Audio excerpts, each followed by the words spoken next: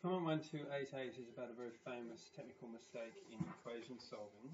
Um, it's about the selectivity of red dudes. So, for example, um,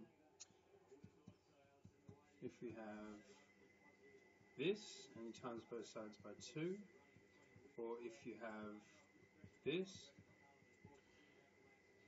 and you divide both sides by 2, um, the principle here is that multiplication and division red dudes, such as these, affect all the terms. Now, terms are what is separated by pluses, minuses, and equal signs.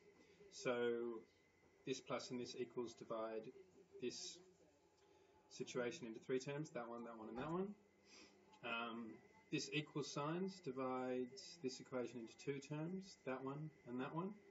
And if you restrict your focus just to the contents of this bracket, you would say that this plus separates the contents of the bracket into two terms, this one and this one. And what comment 1288 says is that you, when you do a multiplication or division red dude, you have to affect all the terms. So obviously that gets affected. That gets affected, that's why you chose that red dude. Um, but the point is that that needs to be affected as well. Now, what about this one over here? That needs to be affected. Um, and all we have to do is affect this term. So we've got um, two choices. Uh, I could just affect that part. Okay, and now I can say that I've affected that term. It's good. But there's another option though. you could affect that part, that's the term on the right. You could leave that part alone, but you could affect this part.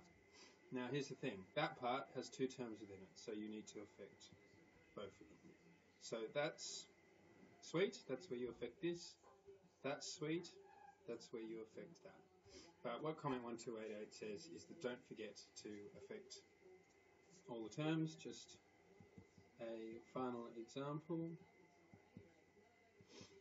If you divide everything there by 2, you get 1x plus 4 equals 2x plus 6.